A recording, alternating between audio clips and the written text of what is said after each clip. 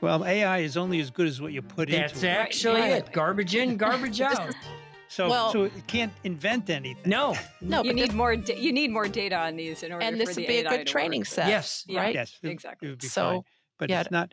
It's not going to invent. No, no. It's going to have a unique commentary. It's going to say this is what we have seen before with this compound. You know, which is fine if you have a lot of if you have a lot of data. It's good to crunch through that. I see that, but It's going to shorten the lead um time. And that's what pharma is all about. And chemical companies like Monsanto, they're all about shortening the time to Yeah. market.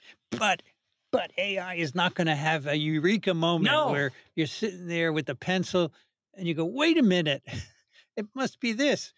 Every lab I know has the bottle of champagne in the fridge just waiting, just waiting for that eureka moment. And when they come, that champagne has never tasted better.